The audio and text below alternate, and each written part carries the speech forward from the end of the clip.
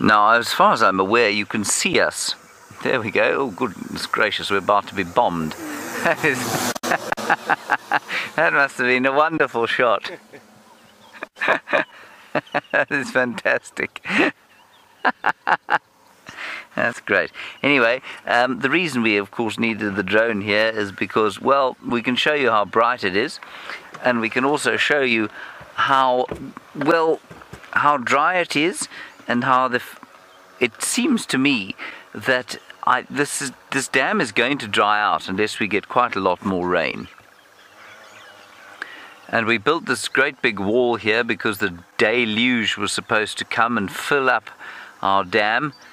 And, well, it just hasn't.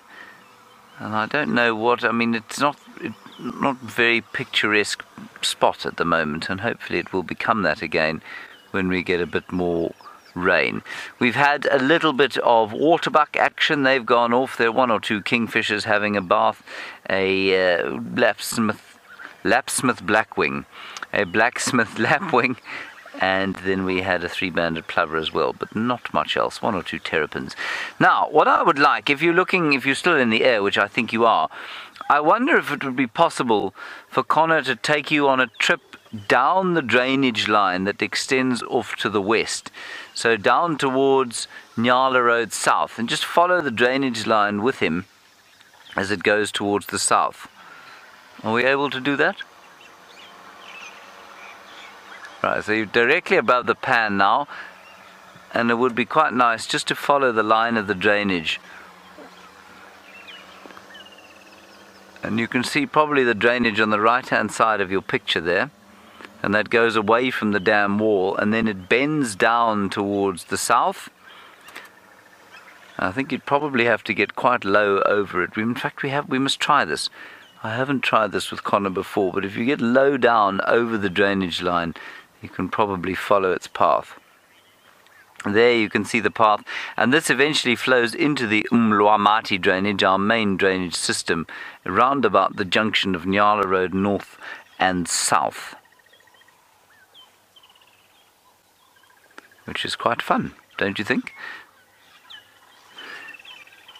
And there are a number of these little drainage systems that sort of pepper, I just said pepper the landscape. They don't pepper the landscape at all. They, um, what do they do? They snake through the landscape here.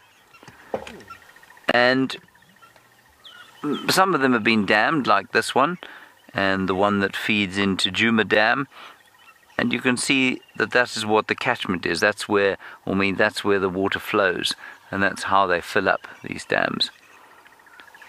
But I think at one stage of this landscape's history, there must must have been a lot more water flowing down these rivers, because I don't see how there could be so many of them if there wasn't a lot more rain at one stage of this great landscape's existence. Isn't that wonderful? Now that's why we love the drone so much. It just gives a perspective of things that it's impossible to get from ground level. And for me, I mean, look, it's great to watch animals from above and all of that sort of thing, but to get a picture of where everything is and how the landscape moves and how the vegetation changes and how the drainage lines wind their way down towards the bigger river systems, I just think is great. Righty.